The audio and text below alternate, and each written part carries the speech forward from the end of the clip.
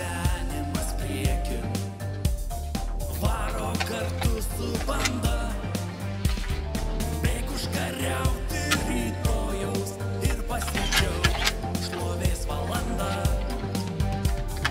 Kalė ir kala į kalbas. Vienas laukia ne karys. Bet jei mastai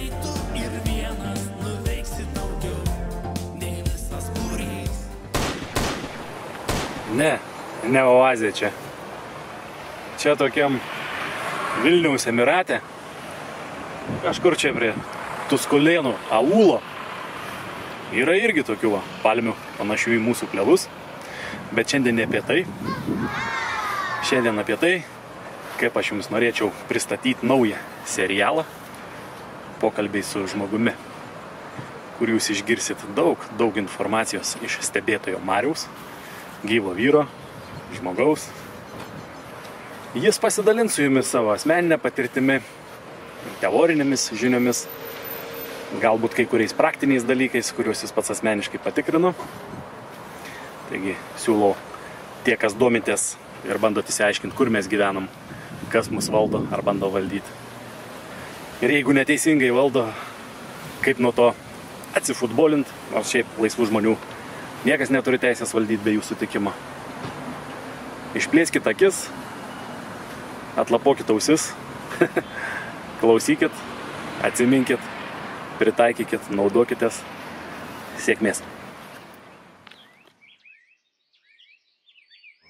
pasą, jau tą tikrą vadinamą gyventojo statuso pasą, capitus de minutė medium statusas, suprantate. O mums visiems, ką mes nusikaltėliai, tipo skaitėsi, mums išduot capitus de minutė maksimą, maksimaliai atimtas teisės laisvės. E, Visa kita prižaista yra. Suprantate, iš tikrųjų nėra jokių nei teisų, nei laisvių. Tau kiekvienas žingsnis kontroliuojamas su administraciniu kodeksu.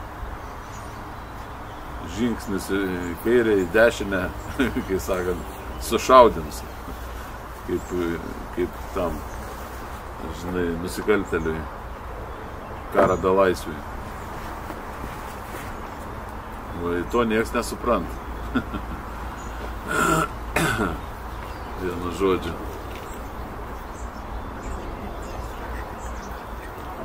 Nu, tų dalykų tai, aišku, niekas nepasakos niekur.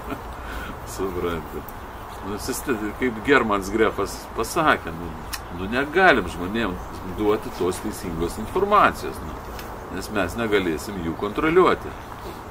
Suprantate, va tai viskas. Už tai jis ir pasakė dar, kad tie slapti gyvenimo mokslai, supranti, nu jis ten vardė, ten dausizmas, konfucijaus, e, kabala, supranti, yra kabala ten ir kabala, žinai, du skirtingi dalykai, yra gyvenimo mokslas, supranti, va, kur Michaelis Laitmanas praktikuoja, va. Supranti, kur, kur žmogui, žmogus gali suprasti, kas yra žmogus, kai sakant, kas jis, kokios jo teisės prigimtinės yra, žinai, taip toliau. Ir kad egzistuoja dieviškosios teisės, žinai, vienu žodžiu. O tų dalykų jisai mokina, kaip ir sakau, ir Konfucijus, bet daugiausia tai žiūriu mm, dzen budizme arba budizme. Vat tų dalykų atrandi, su katrais žmogaus protas prabunda. Nu, Nes budizme ir yra tas dalykas, kad turi prabūsti, suprantate. Ten budizmas ne religija kokia tai, suprantate. Pas juos nes, nesimeldžia jie niekam ten, jokiem dievam. Jie tik medituoja, kaip sakant, viską, renka informaciją, žinai, bet tu turi vis tiek pats prabūsti. Žinai, budizme ten yra tokių vietų įdomių.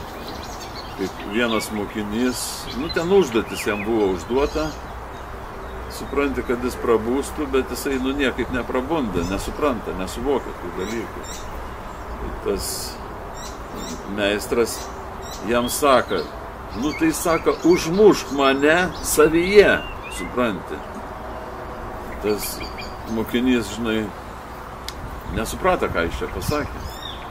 nuėjo pas kitą mokinį, žinai, nu, aišku, protingesnį. Supranti, jis sako, ką čia tas meistras sako, užmušti jį, supranti, savyje, žinai. Ta- ta- Tas mokinys juoktis pradėjo. Saka, jisai, sa, taip, jisai taip sako, kad užmušk mane savyje, reiškia, turi užmiršti viską, ką tau mokytojas sakė, supranti. Ir turi pradėti protauti ir gyventi, suvokti savo galvą. Tu turi pats pradėti gyventi. Jis tau sako, kodėl tu pats negyveni, kodėl tu gyveni mano kaip mokytojo mintimis. Tu turi pats prabūsti, pats suvokti, pats gyventi. Supranti?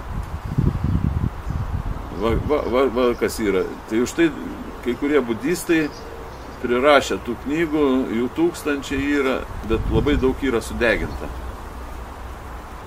Ir jie paprastai išreiškia tą dalyką. Kai mokinys sako, mokytojau, kodėl tu degini tokias knygas vertingas?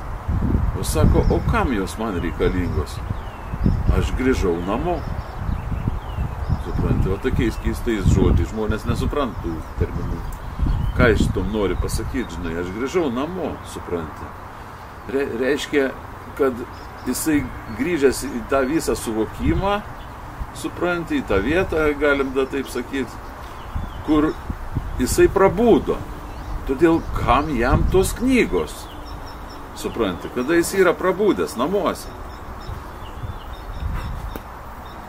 Bet budizmas labai įdomus dalykas yra. Sakau, jis, jis pradeda suvokti daiktus, kaip juos matyti tikrais vardais, suprantate. Be tos žodinės žodžių blūdo transsubstanacijos vadinamas, suprantate. Žinai.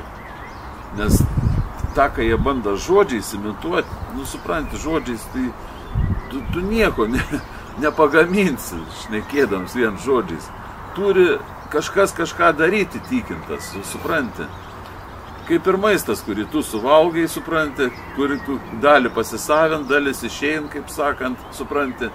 Tai ne dėl tro, žodinę blūdą tai viskas vyksta, tai vyksta pagal gamtos dėsnius, pagal, nu, Dievą, kaip sakant, tuos visus dėsnius, supranti. E, Viskas vyksta per cheminės reakcijas atitinkamas, supranti, kurios remiasi tam tikrais dėsniais. Vyksta virs, virsmai, ardymas, išardymas iki molekulių, iki atomų, kaip sakant. Kaip, žinai, kas reikalinga pasisavinama, viskas rušiuojasi, kaip sakant. Čia didelis procesas. Tugi žodžiais nepavalgysi, ant kompiuterio ekraną, į kurį dabar bando įsodinti tą elektroninę matricą, tu nepavalgysi, va ten gali tau skaniausią maistą rodyti, tu ką įsitrauksi tą lėkštę su to maistu iš tenai, nu neįsitrauksi. Tai va jie va šitai bando apgauti, kad tu tipo gyveni va tam kompiuterį, supranti. Va tu ten, tavo elektroninis paštas, ten tavo nuotraukos, tavo facebookai, supranti, va tenais. Kad tu tipo, va tu ten gyveni, ten filmukai visokie, žinai. Bet tai tu ten nesi, ten tik tai yra iliuzija. Supranti, elektroniniai nuliukai, vienetukai paversti, supranti, į šviesos signalą, kaip sakant. Žinai, e, tie elektriniai signalai, supranti, ir, ir už tai irgi, ir kompiuterį va gaunasi, jie ant popieriaus nerašo, o kompiuterį kažkodėl tu gaunasi kaip nunulintas, supranti, va tą 1899. A todėl, kad pas kompiuterį yra tik du. 0, 1.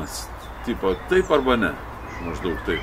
Pasirinkimas, supranti. Kita kompiuteris neturi pasirinkimo. Tai vat tas nunulinimas ir eina. Nulis, supranti. Tau uždedams yra. Nu, nu, nunulinis tu esi. Toj kompiuterinė erdvėje. Reiškia, čia jau žmogaus visiškai nėra. Bus tik tai avataras, kažkoks vienetas sukurtas, žinai. O žmogus nusinulina tam kompiuterį. Supranti. Vat. Va, va, va kam yra. Tai už tai ir pinigai bus, nori jie pinigus nunulinti. Kad nebebūtų tų pačiupinėti, kad galėtum. Bus ir vadina kriptovaliutą, kriptą, mirties valiutą, supranti. kur viskas nunulinta jau yra, nulis. Va, matysi tuos pešinukus, nu, juos galėsi kaip tą vienetą priimti, supranti. Nu, bet tu nei pačiupinėsi jų, nei ką, nei pavalgysi, nei užuosi, nei paragausi, žinai. Kai sakant. Tai va čia va yra idealiausi tie čiuptuvai, šlangos, su kuriuom sistema tave kaip filme Matricu yra įsisiurbus, supranti. Tau, tu, ta, tau sako, va, matyk, gražiai visą aplinką sutvarkytą, gražus pastatus, namus, mašinas, supranti, ten lėktuvus, motociklus, žinai. O mes tau filmukų prikursim, kaip reikia tau elgtis su ta technika. Prikursim bajavykų visokių, šauda gaudai bintuoja, žinai, filmukų, vat, su tom lenktynės visokios bus tau rodomos, nuo policijos bėgimai, visokios kovos, supranti. Va čia tavo stichija, tu turi būti tas e, siaučiantis, e, kaip Frankas Okolinsas sakai, e, siaučianti būtybė turi būti. Nu, ta nedekvati protiškai. Supranti, va, mes tau daug programų sukūrėm. Žinai, ir, ir pasiūlymų. Kaip sakant, va, kaip ir e, iš kompiuterio tą lapą policininkai atspausdinti, va čia yra irgi reklama. Pasiūlyms tau, supranti, kad tu įsigytum. Tai tas pats, kas Maksimos reklamos, žinai, žurnaliukai, tai va čia irgi tau tas, tas pats kaip asmenį. O, ir, bet jau čia tu, tu turi mokėti šnekėti, žinai, kad atsisakytos nu, jų, re- to jų pasiūlymo reklamos tau duodama, žinai. Kad tu nenori nusipirkti to popierę, žinai, kaip sakant. Turi vat surašyti indosamentus, ten tos vadinamus est- estopelius dar gali uždėti. E, supranti, rašai estopel, e, daugiau rašai, bet koks turtas yra dovana, pagal kanonus frazę. Ir, ir daugiau, jeigu ten tipo į teismą yra parašyta, tai tu ir tada toliau rašyk. Aha, supranti. Reikal, kaip gyvas vyras, žinai, nuo savo vardu, reikalauju teisme uždėti turto areštą va šitam asmeniui. Pareigūnas, vardas, pavardė. Supranti, ir viskas. Dėl to, kad jie panaudoja žodį datą. Matai, jie rašo datą.